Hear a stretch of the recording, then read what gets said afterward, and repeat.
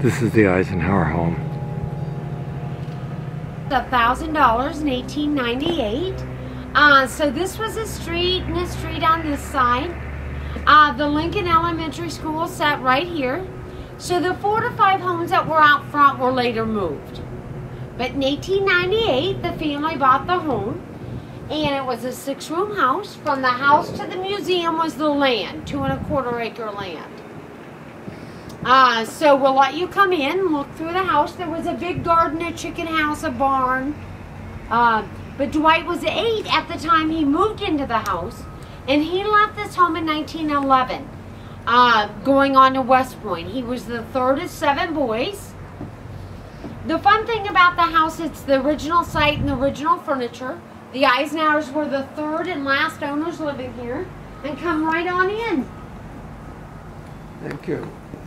It was opened in 1947 as a World War II Veterans Memorial. Dwight's mother. It was Ida? Ida Eisenhower was mother, David Eisenhower was father. She died in 1946. Her husband David died in 1942. Look at the incredible resemblance. I know. Put a uniform on her and you got Ike. At the time that photo was taken in her later years, was in the front parlor of this house, in the little chair by the old secretary. Of course, you can look in this photo and look in that room and see the uh, same pattern as what she had of the rug and wallpaper, but they are new reproductions of what she had. Step in and see the family Bible. The boys were born in Hope, Kansas and Abilene, Kansas. He was born in Dennis? Denison, Texas, Denison, October Texas. 14th, 1890. He was Ida and David's third son. Their fifth child died of diphtheria as a little boy. The marriage license is lovely on the wall above the Bible. That's his mom and dad's. 1885. They met and married at a college in Lecompton, Kansas. That's the group of guys and gals at Lane University where they met um, at the college there they attended. The boys were not allowed in this parlor because this was the company parlor. Uh, everyone had two parlors, one you used and one you didn't. All their family books you can see, uh, but this was where the boys had to ask to go in the parlor. The family home, when they bought it in 1898 from Dwight's uncle on condition Grandpa could move in in any time, and uh, there was no electric, no plumbing. So in 1904, Dwight's father got a book on how to do your own wiring, and that's what him and the boys did. Wired the house and got electric in 1904. Which was rather early, really. Yes, living in town made a world of difference than living in the country. And Abilene was a very prosperous town at that time. Um, it, uh, you know, had the railroad. Uh, it was the end of the Chisholm Trail, uh, the cattle head. So What did his dad do for a living? he worked uh, 24 years at the Belle Springs Creamery and Ice House and 16 years with the utility company. All six boys and the parents shared those three bedrooms uh, for two years. Mom and Dad was in number one, and then by 1900, Dwight and Edgar took that room over. You can see the chamber pot. Roy, Earl, and Milton in the second bedroom. And Arthur had an advantage. He was the oldest son, so he never shared this six by seven bedroom right above the entryway, right above our heads. So uh, he was in number three bedroom. Ida and David got a brand new bedroom at the foot of the stairway you see right here, and that was for mom and dad. Will I date myself if I tell you I remember my mother had a Singer sewing machine? Uh, My grandma had a Singer sewing machine, I remember. This one has a beautiful lid on it. My grandma's was a drop-in. Uh, so this one I think is much older, but beautiful. Um, the twin beds, the boys got Ida a nurse's aid in the twin beds after they lost their dad in 42. The lovely quilts on those beds were done by her. Where she found the time, I, I can never figure that out. But um, the quilts, pillows, all the fancy work was done by Ida. Her and the boys took care of the land going east, put food on the table, while uh, Dad worked 24 years at the Belle Springs Creamery and Ice House as a maintenance man and refrigeration, and 16 years with the local gas company. But this was considered the wrong side of the tracks on the edge of town. It was not the money side. The money side uh, was the big um, homes all north. But this would have been a middle-class house. Average little home as the years average, went. But as the boys uh, were asked once, were you poor growing up? And they said, yeah, but they never knew it. Right, everyone says that. And, uh, you know, the boys were very outstanding. Ida was asked, Aren't you proud of your famous son? And her comment was, Yeah, which one? Arthur was a banker in Kansas City. Edgar was the lawyer in Washington Dwight put through college. Of course, Dwight. Um, Roy, Junction City pharmacist. Paul died at 10 months old of diphtheria. Earl was a mechanical engineer, newspaper man in Illinois. And the son, Milton, born in this home, the only one, baby of the family, was Doctor of Education, president of K State, Penn State, and Johns Hopkins, and worked many And years Columbia in Washington. too? No, Dwight was Columbia. Dwight was Columbia. Uh-huh. Okay. Yeah, but Milton was Milton, no Milton was K State, Penn State, and Johns Hopkins. okay, Hopkins, So- exactly. Yes. And down the hall, here's a lovely piece she made as well. Call again, painted on glass and foil behind it. Then we'll step in the family room when you're ready. The TV room with no TV. That's where she found the dome.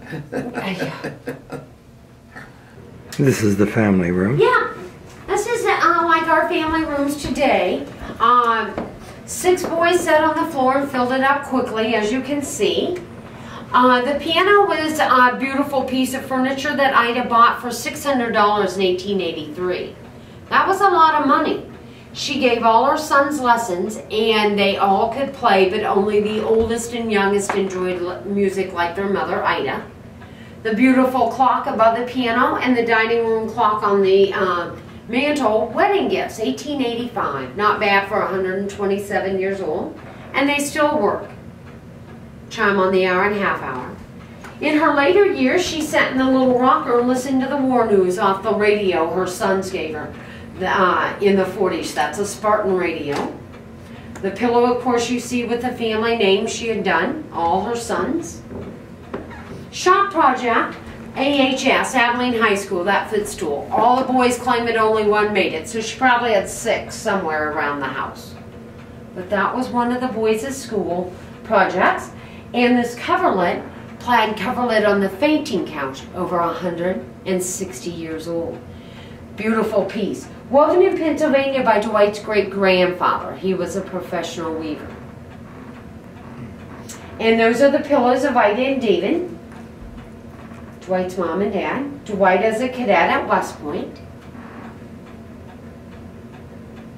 But the boys wired the house with electric. Uh, 1915, Dwight was 18, no, excuse me, 1908, they got running water indoor plumbing. So the first um, six years, that was grandfather's bedroom, starting in 1900. So Jacob Eisenhower spent six years with him. Uh, this was kitchen dining room combination. This half kitchen, this half dining room for 17 years. Her wood stove was replaced by this beautiful sideboard. That piece of furniture cost the family $5 secondhand from a local doctor's wife. Isn't that pretty? But I imagine with six boys, and um, that was a lot of money, $5. So by 1915, they added the kitchen, back porch, and pantry. That was the kitchen, the back porch, uh, the pantry. And that was all done the year Dwight graduated from West Point. The original basement was a uh, storm shelter, um, a root cellar, you know, uh, that's where all the canning and stuff was done. Telephone worked up until 1946, sits in the corner on the wall, and that's used by the family up until Ida's death. And after work, Father Eisenhower hung his hat right there in the corner, so that way the boys knew Dad was home when his hat was hanging. Party line telephone. Yeah, yep, everyone listened in. That's how they got their news. Now, in the nowadays, you have to have a recommendation from usually a politician to go to West Point. He did too. He wrote a letter to Senator Bristow, and that's how he got appointed to go to West Point. Mm-hmm. So, this piece was kept in the kitchen because the heat from the stove made the dough rise. She made nine loaves of bread every other day. The plates are pretty. A gift to the parents from Dwight and Mamie in 1932. They're commemorative plates to George Washington's 200th birthday. Ida and David is pictured in the home here, right there, front part of the house celebrating their 50th anniversary. By the time she lost her husband in 42, they have 56 years of marriage. That photograph of Dwight, 1941, celebrating uh, receiving his first star. By 1944, he had five stars. Dwight and Mamie married and had a family of two boys, and the place of meditation chapel is their firstborn Doud. He died of scarlet fever at three and a half, four years old, and John's pictured right here. He just got done celebrating his 90th birthday in August. Dwight and Mamie's son is John, still living. John's the father of David Eisenhower and three girls. So where did Mamie Doud Eisenhower come from? Was she local? Born in Boone, Iowa, grew up in Denver, Colorado, and they met while he was stationed in Texas. She had family and friends there. Down here by the exit door are photos of mom, dad, and the boys. In 1902, they were all young, and Dwight was 12 years old in the far left corner. 24 years later, he was 36 years old in the major in the far left corner. They're the exact same people, exact same arrangement. In 1902, everybody mistaken Little Milton as a girl because he didn't have his hair cut yet, and that was the Buster Brown look with the long hair. But he became quite handsome right here, and that was Milton. But quite a family of achievers. And this is the home Dwight came back to visit as much as he could. Uh, once he left in 1911, he never lived in Abilene. Of course, uh, the only home they ever really ever owned uh, was at the farm in Gettysburg, Pennsylvania. And this is where Dwight grew up. Please look around. You'll exit out this back door whenever you're done looking. Thank you. Uh-huh, you're welcome. But uh, yeah, it, it's amazing. I like I say, I say throw a uniform on her and you got Ike. But it was amazing. But they were amazing family. So we just came out of the uh, home, and now this is the museum. And we're going over there. But just to move around to the left, again, this is the home right here. We just came out of.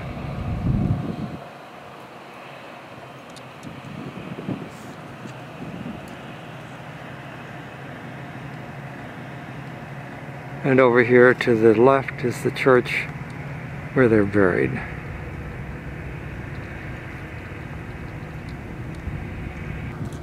It was interesting to hear that the family were pacifists.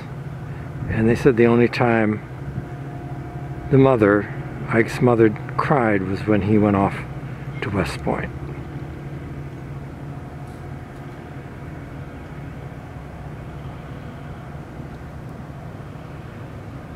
We're the only ones here. It's amazing.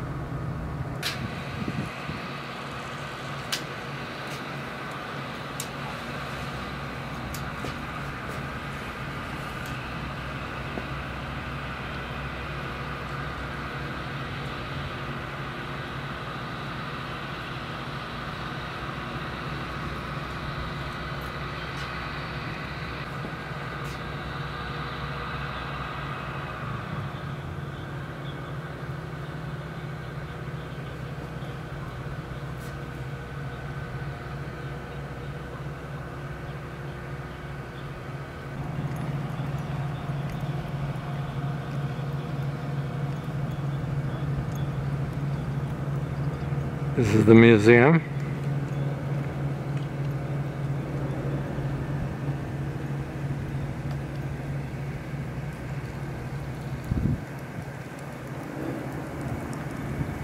The library.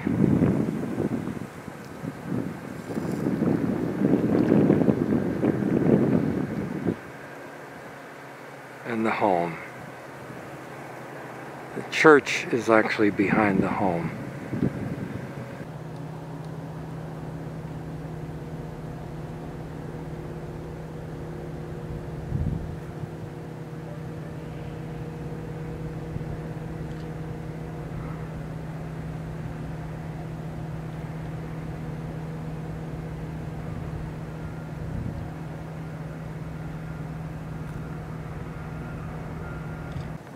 This is the library. Statue of Ike is behind me. Coming around.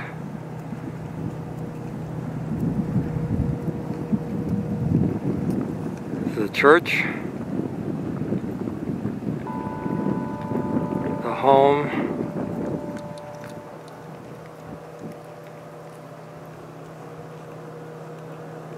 And the museum.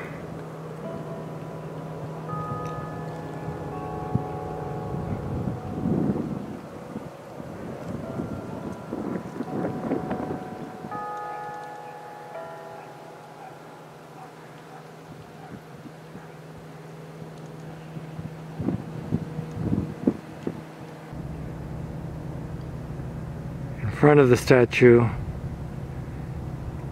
it says champion of peace.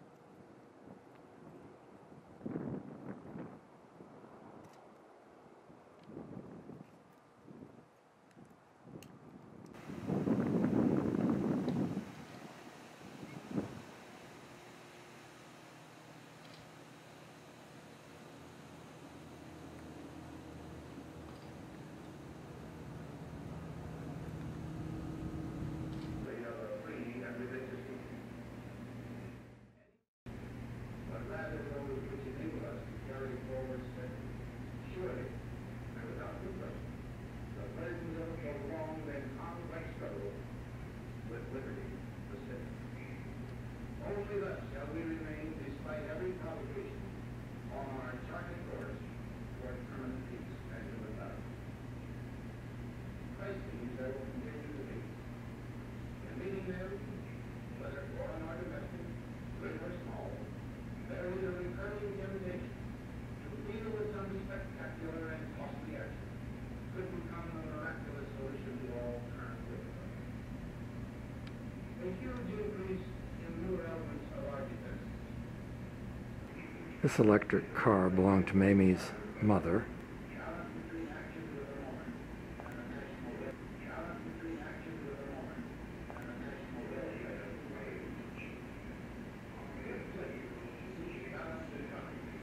This is some of Ma- Mamie's hats.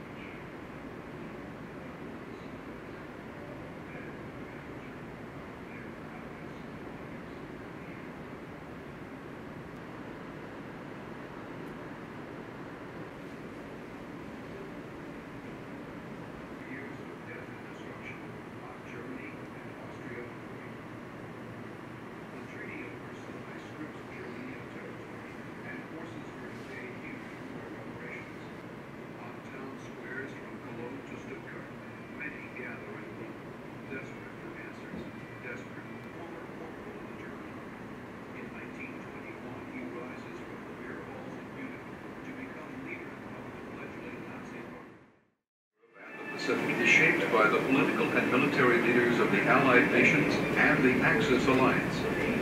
The Axis alliance is formed in 1936 when Hitler joins forces with fascist dictator Benito Mussolini of Italy to support Francisco Franco, head of Spain's nationalist army in the Spanish Civil War. Mussolini pompously hails the Berlin-Rome connection as an axis around which all states and nations interested in collaboration may revolve. Japan, bent on dominance of East Asia, soon signs a pact with fascist Italy and Nazi Germany. The three-pronged Axis alliance masks its goal of world conquest behind a unified pledge to fight the spread of communism.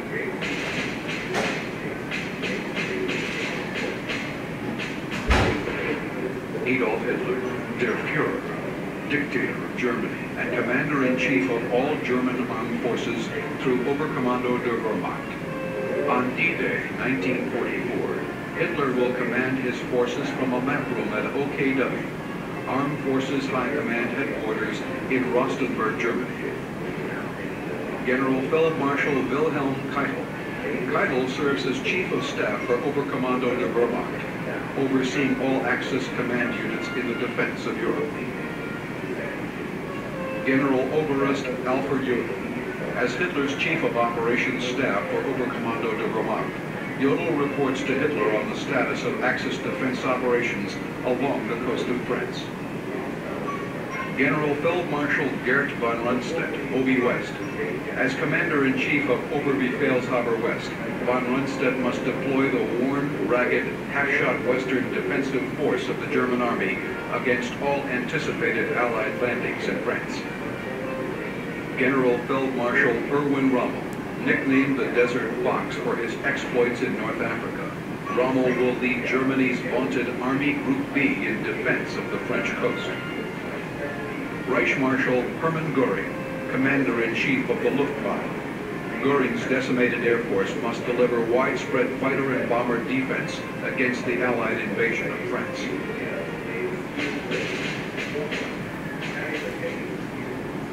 Emperor Hirohito of Japan, the divine ruler, the living god of the Shinto religion. His governing powers are limited, but his symbolic strength is supreme over all Japan. Hideki Tojo, War Minister of Japan. Nicknamed the Razor, Tojo holds supreme command over Japan's military machine during the early years of World War II. Admiral Isoroku Yamamoto, Japan's most brilliant naval strategist. Early in the war, Yamamoto pushes for a quick knockout punch against the U.S. Pacific Fleet. His partial success at Pearl Harbor is offset by a crushing defeat at Midway in June 1942. Minoru Genda, a former attaché to the Japanese embassy in London, Genda is credited with planning the attack on Pearl Harbor.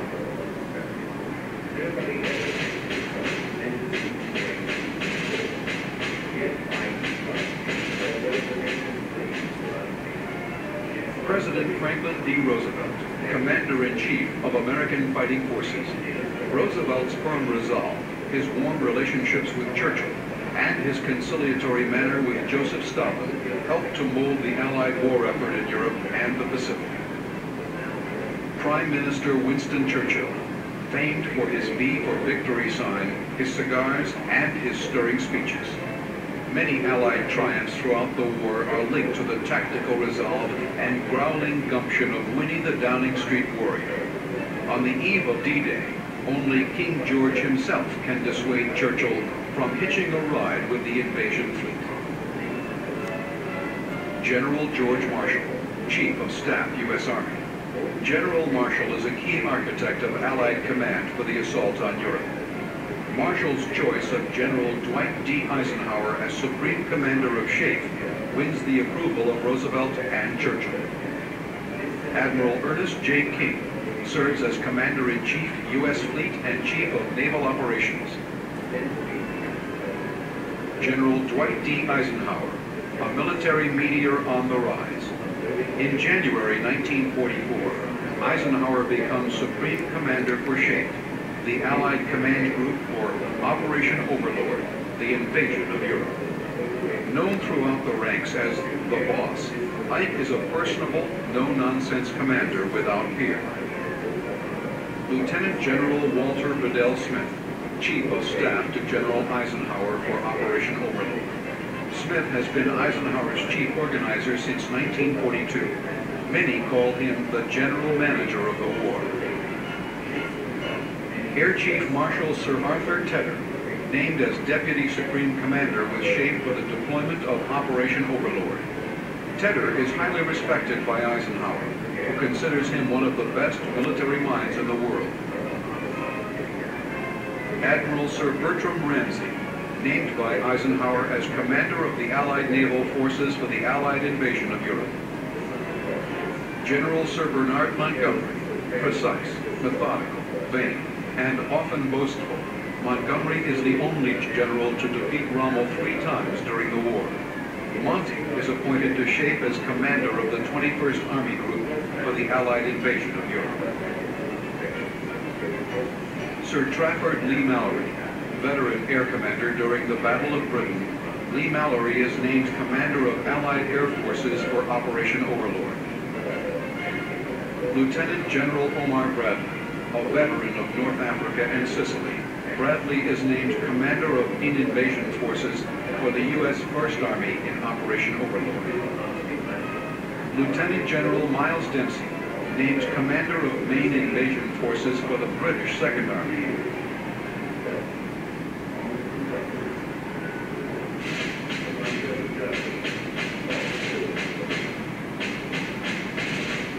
Operation Overlord, the largest amphibious landing operation in history.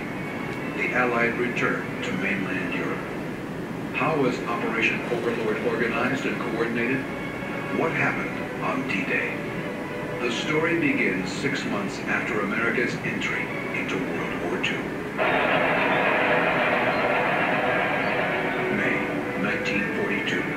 From North Africa to Greece, from Burma to the Philippines, Axis forces smash and destroy. Allied forces are scattered, disorganized, and still on the defensive. In Washington, General Dwight Eisenhower head of the U.S. Army Operations and Planning Department for the Chief of Staff, advocates a focused Allied effort, a combined offensive in Europe. Beginning with the Casablanca Conference in January 1943, Roosevelt, Churchill, Stalin, and their advisors reaffirmed their intent to defeat Hitler before the Japanese. On January 14, 1944, General Eisenhower arrives in London to assume his duties as commander of SHAEF, Supreme Headquarters Allied Expeditionary Force. SHAEF will coordinate Operation Overlord, the Allied invasion of Fortress Europe. Southern England becomes a military encampment. Allied troops there will soon top three million. With the troops come the supplies, endless supplies. By March 1944, a half million tons are landing monthly. The Americans alone stock 700,000 items, ranging from 8,000 planes to 100,000 packs of gum and 54,000 supply corpsmen just to keep track of it all. Soldiers are housed in manor houses, cottages, schools, tent cities, and tin sheds. Secrecy is paramount. Spies may be everywhere. Morale is strained. Veterans of Tunisia, Salerno, and Anzio Beach are told not to discuss their experiences. They are ordered to attend rookie training exercises at a salt school on the Devon coast. Every man in the ranks knows something very big is up, but where and when. In Germany, Nazi high command wants answers. An Allied invasion is coming, but where and when? Deception is important to the Allied plans. Keep Hitler guessing. Make him think the Allies may invade anywhere. Will it be Norway? In northern Scotland, fake twin-engine bombers appear on Scottish airfields. False wedding announcements for fictitious soldiers are printed in newspapers. There is no Northern Army, but the deception works. Hitler moves thousands of troops north to repel an Allied landing in Norway. will it be the Balkans? An English actor doubling for Field Marshal Montgomery is sent to Gibraltar. German spies believe Monty has arrived to lead an Allied invasion from the Mediterranean. Hitler moves three divisions south, just in case. Will it be Calais? Dummy landing barges appear at Ramsgate and Hastings. Dummy tanks, too. A phony oil dock springs up at Dover, built by movie stagehands. Rumors fly that the leader most feared by the Germans, General George S. Patton, has arrived in London to take command of Fortitude South, a huge Allied strike force headed straight across the English Channel from Dover. The deception works again. Hitler overestimates the Allied strength. General Feldmarschall von Rundstedt masses German defenses for an invasion at Calais. Allied intelligence plays a trump card. A primitive British computer called Ultra is used to break the top secret German Enigma codes. Ultra locks into German radio frequencies, decodes information on German troop movements, and transmits false information regarding the Allies. Meanwhile, SHAEF commanders select the real site for invasion, Normandy, a quiet stretch of French coastland leading up to the Cotentin Peninsula between the port cities of Le Havre and Cherbourg. As troop numbers build and D-Day approaches, many Allied unit commanders worry about the newest arrivals. The veterans are more than ready, but what about the real greenies? Equipment arrives late. Vital supplies are stolen. Men are short of skills, short on battle savvy. SHAEF orders Exercise Tiger, a nighttime training run under simulated invasion conditions at Slapton Sands, east of Plymouth, England. But Exercise Tiger goes sour when German E-boats discover defenseless and cumbersome Allied LSTs off the coast roaring in at close range with torpedoes and 40-millimeter guns. The E-boats claw at their hapless victims. By night's end, over 700 troops of the U.S. 7th Army are dead. The incident is hushed up by Chief Command. Meanwhile, U.S. Air Forces pound Europe with endless bombing raids, striking at vital enemy supply lines, hammering at Germany's war machine. poised and ready for the order to move, nature turns against the Allies. A month of warm, sunny weather gives way to driving rain, high winds, and heavy seas. As the time for launch approaches, tension grows.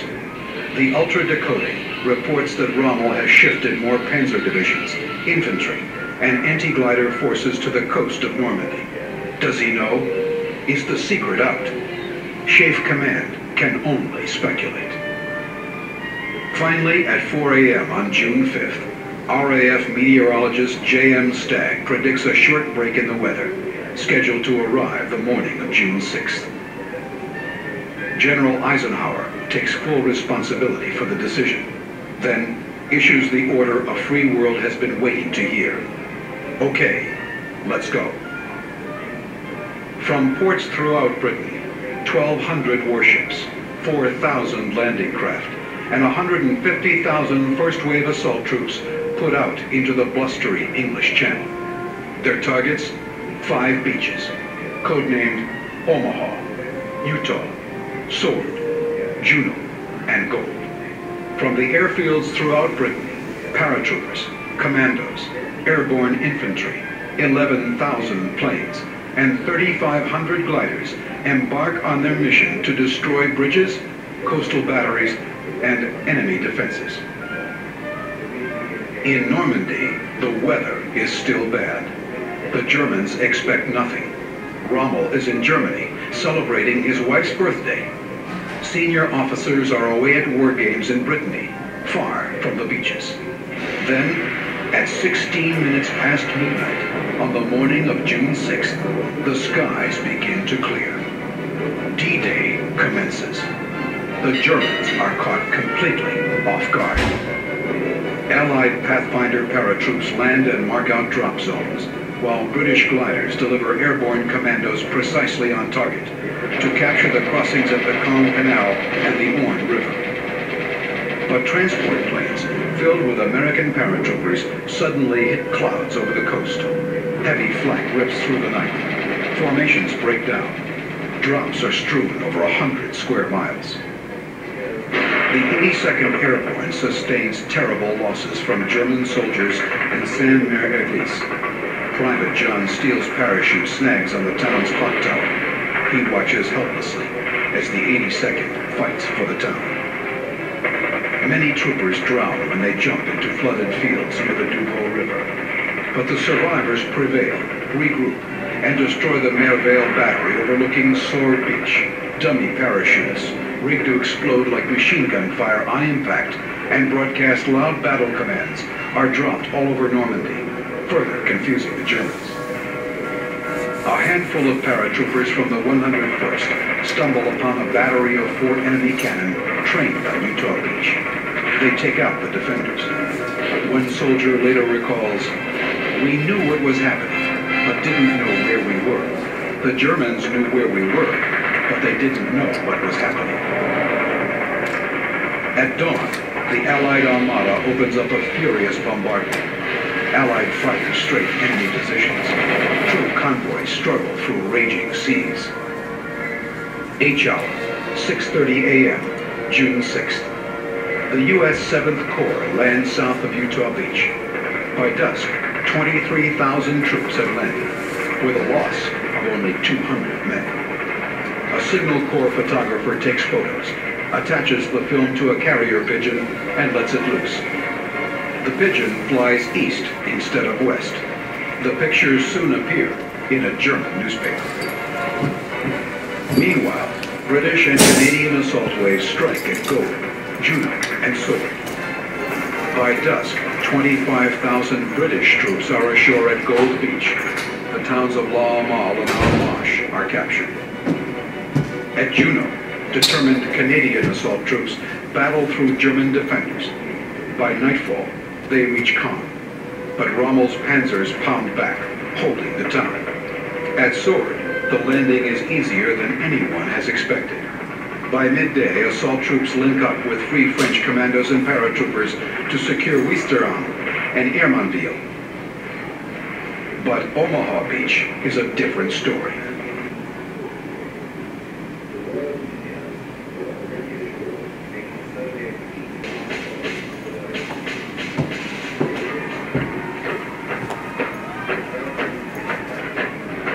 Germany, September 1933.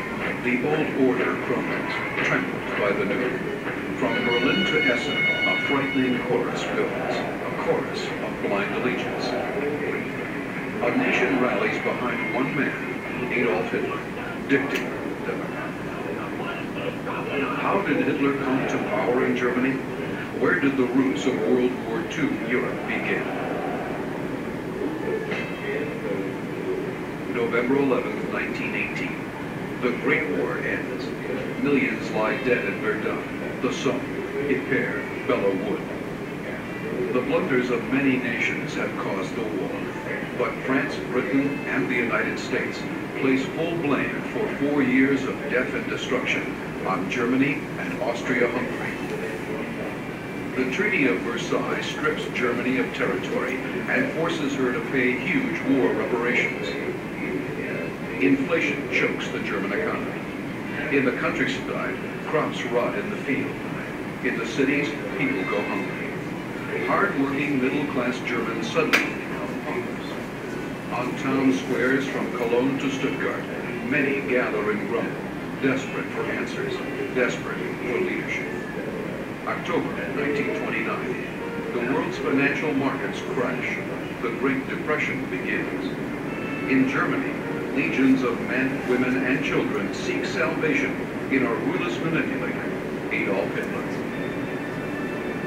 Hitler is a former corporal in the German army. In 1921, he rises from the beer halls of Munich to become leader of the fledgling Nazi party. The Nazis despise those whom Hitler blindly accuses of stabbing Germany in the back, the French, the socialists, the Jews. Hitler mixes politics with hooliganism, to take control of the government. Stormtroopers terrorize the streets. SS guards crush all opposition. In Frankfurt, Hitler tells followers, I don't have to worry about justice. My mission is only to destroy and exterminate. By 1933, Hitler is elected Chancellor and President of Nazi Germany. He promises a new millennium for Deutschland, a new empire, the Third Reich. March 1938. The Nazis annex Austria. France and Britain rush to appease Hitler. The Munich Pact cedes the Sudetenland, Bohemia, and Moravia to Germany. Chamberlain returns home to England promising peace with honor, peace in our time. But Hitler has no desire for peace, no need for honor. Across Europe, anxiety builds. November 1938. Kristallnacht, the night of the broken glass. Hitler launches spontaneous acts of violence against all Jews in Germany. In 24 hours, 7,000 businesses are destroyed. 100 Jews are killed. Another 30,000 are sent to Hitler's recently formed concentration camps. August 31st, 1939. Blitzkrieg. German aerial bombing rains death from the skies. Panzer divisions roll eastward. Diplomacy and appeasement have failed. Poland has been invaded. Promises to allies must now be kept. Britain and France issue the call to war. The Second World War has begun. This is the entrance to the Eisenhower Library.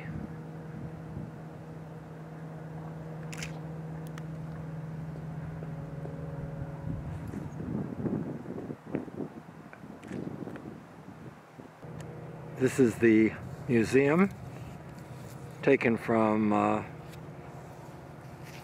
the front of the library. And you see the wheat mill in the background.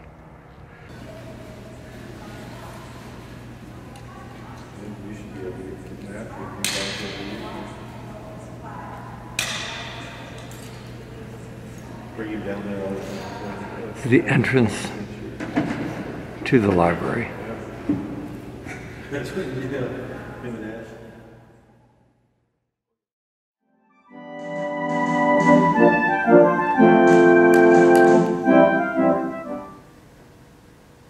Welcome to the Eisenhower Presidential Library and Museum. We are one of 13 presidential libraries operated by the National Archives and Records Administration.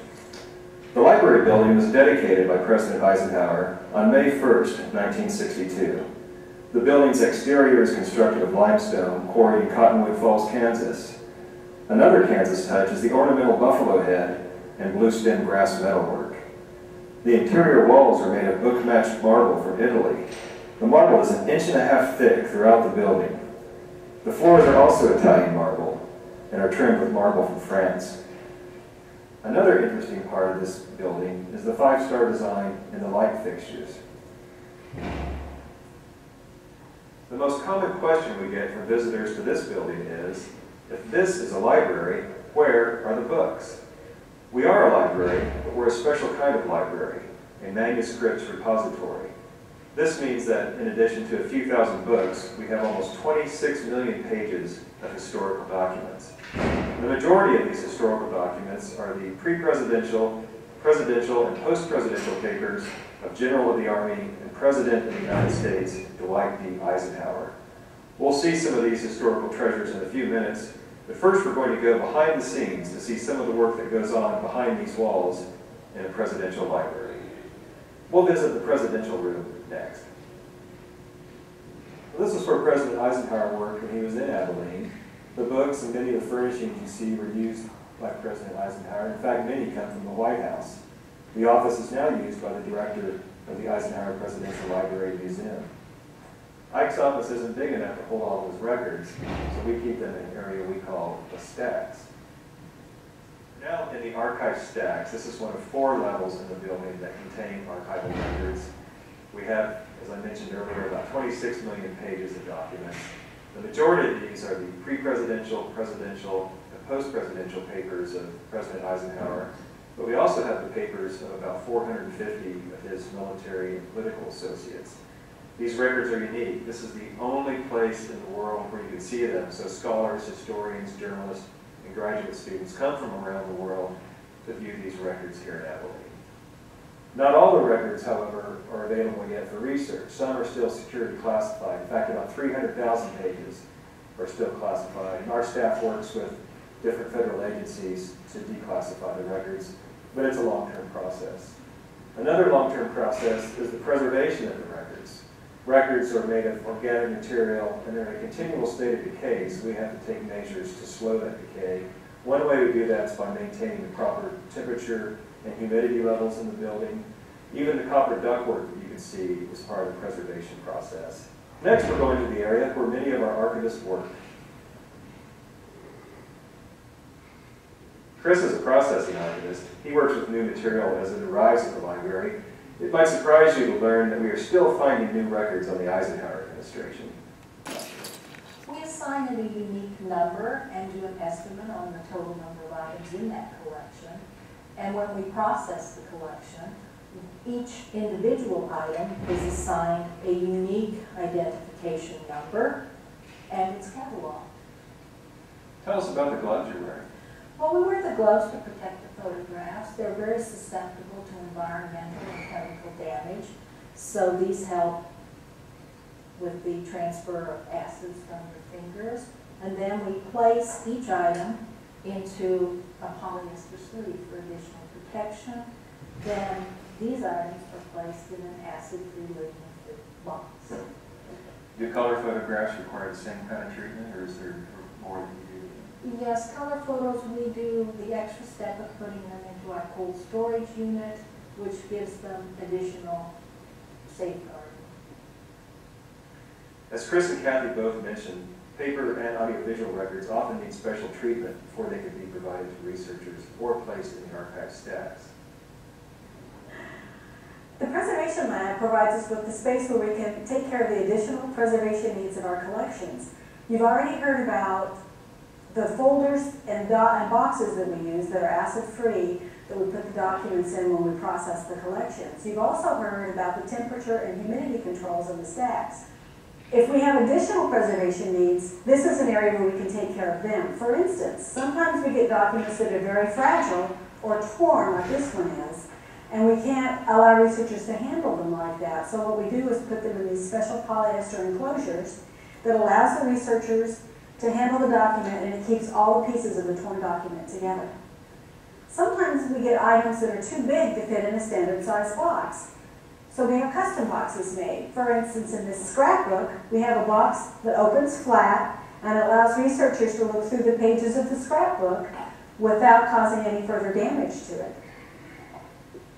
And one additional thing that we can do here, sometimes we get documents that are rolled up or folded and very brittle. And this document, for instance, we just received, and you can see how it's rolled up and fairly brittle, and there's no way a researcher could use that. We can humidify the document so that it's not brittle, and then we can flatten it. And once the document is flattened, we put it in a special file folder just to fit, like this folder, so that a researcher can look at this folder and it's nice and flat and it won't cause any damage while the researcher handles it. The behind-the-scenes work we've seen so far is all in preparation for some of the most important work we do here, providing records to researchers. Reference requests come to us by telephone, by email, and even occasionally by postal mail. The reference service we provide actually falls into two categories. As you might expect, we answer lots of questions. But we also work to make sure that our most frequently requested records, uh, be they photographs or documents, are accessible online.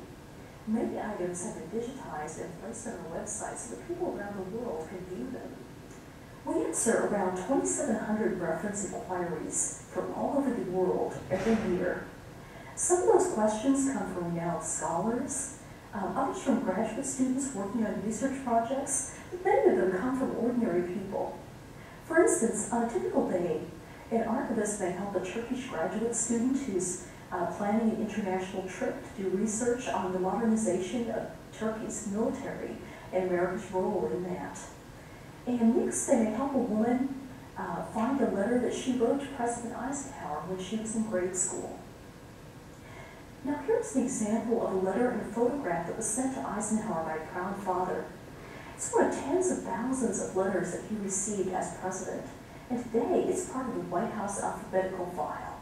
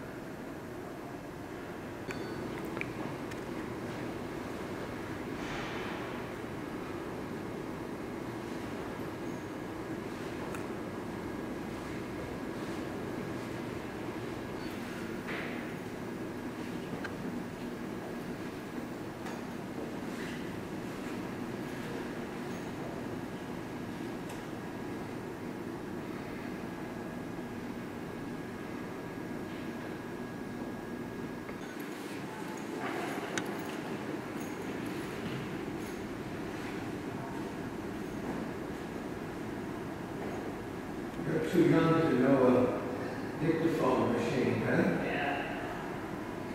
That's what it raged up until the late fifties.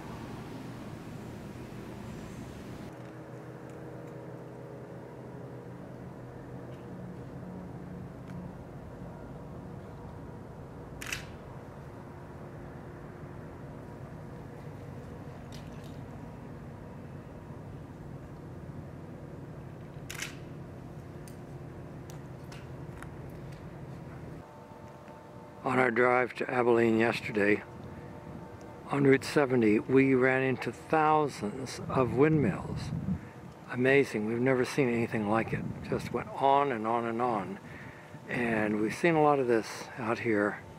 Uh, and you see the solar panels there.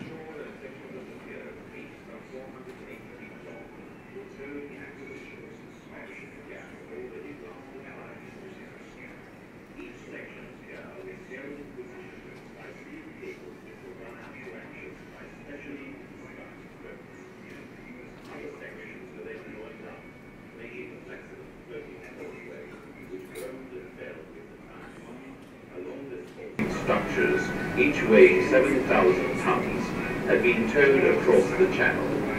Some 200 tugs were engaged on this job alone. Okay. As they were brought into position, the valves were opened and the sea rushed in. This is a Nazi soldier. And on the buckle it says, God is with us.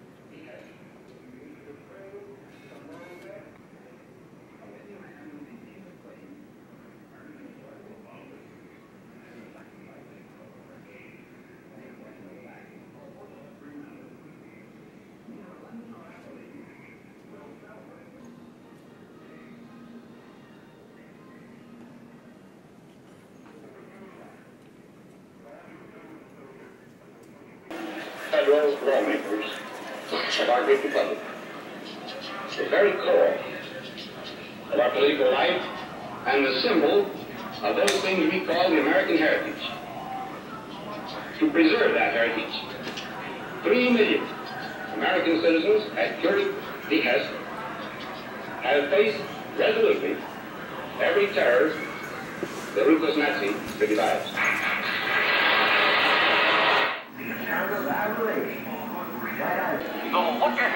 Special rolls out of New York's Pennsylvania station bound for Anytown, USA. Republican presidential candidate Dwight David Eisenhower is in command, with wife Mamie at his side. The GOP campaign support team includes advisors Sherman Adams, Gabriel Haug, Harold Stassen, and brother Milton Eisenhower. All aboard The General and Mrs. Eisenhower will occupy the last car on the train, enabling the General to make rear platform speeches at whistle stops. Eisenhower's press secretary, James Hagerty, September 15, 1952. 45 states, one stop in 232,000 cities.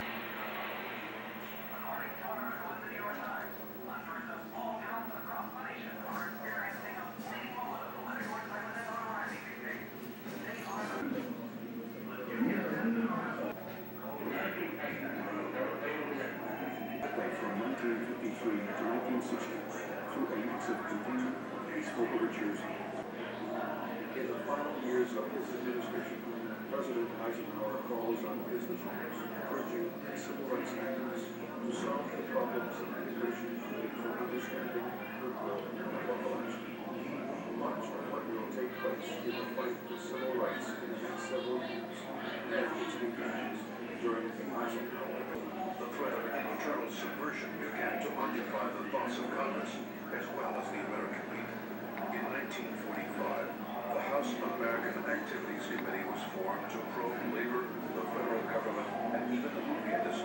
search of communists and communist sympathizers. In 1948, again tough policy with communists around the world, but how these issues of security at home does not of selling atomic bomb secrets to the Soviets.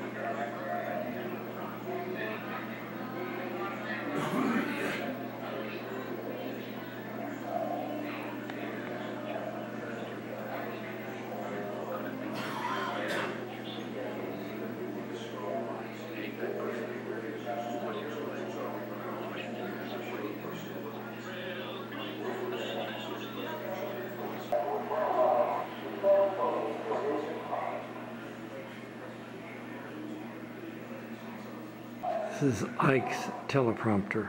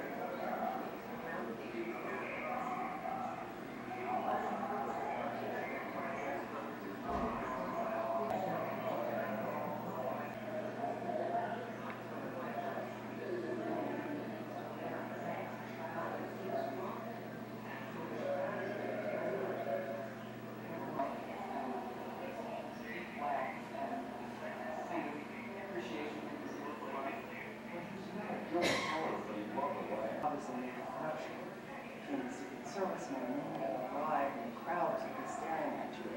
And you couldn't understand why. I would sit on a chair and put one on one arm of the chair and the other on the other arm and hold the two report cards up and compare them line by line. He had this one little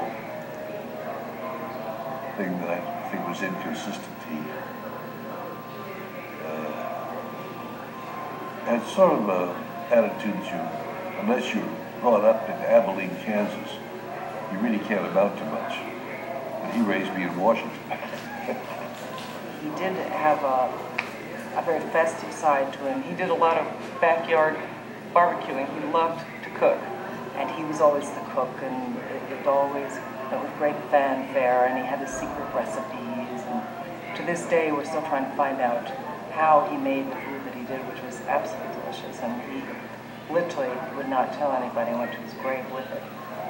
And he used to have a, um, an apron that said, Hail to the Chef on it. And I got quite a kick out of that.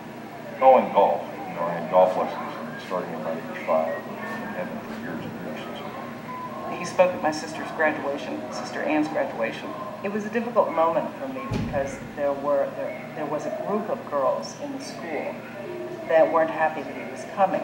They were afraid that this was going to take attention away from them and their day. And they made it very clear to me. She went to an all-girls school. As often would happen, while he was talking, I didn't listen to a word he said. At the end, he all of a sudden, this was when miniskirts were, you know, in style, they literally measured our skirts. They had to be a certain length or else they wouldn't let us graduate.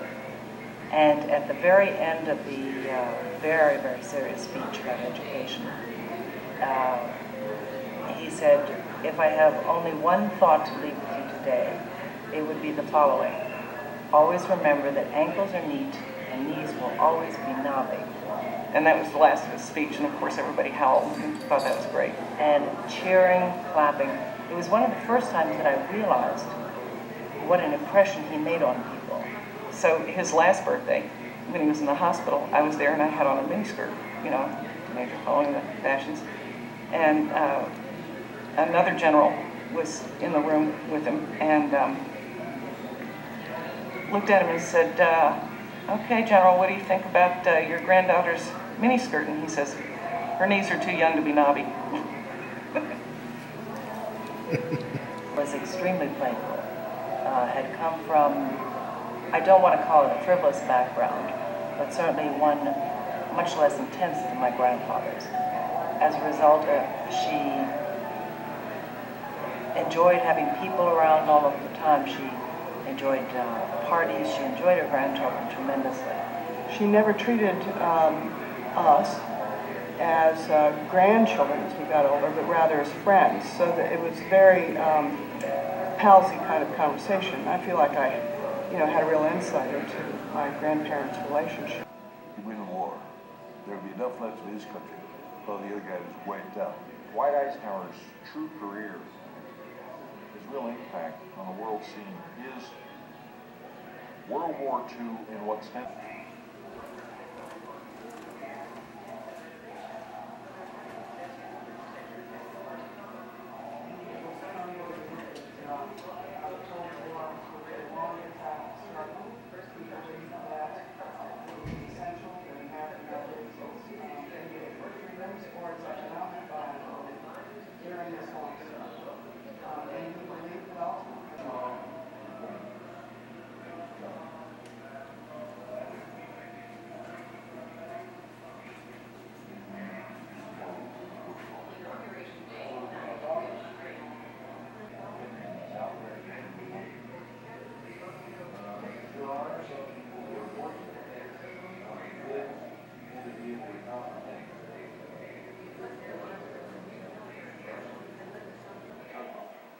This is where the pecking order comes in. He, he named Camp David my brother. It was, there was also in the back of my grandfather's land, this is on water. And so it, uh, you know, I don't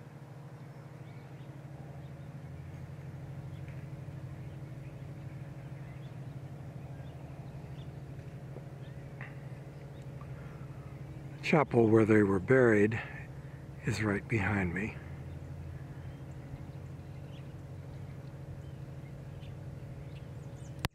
This is another view of the house, a little bit later in the day.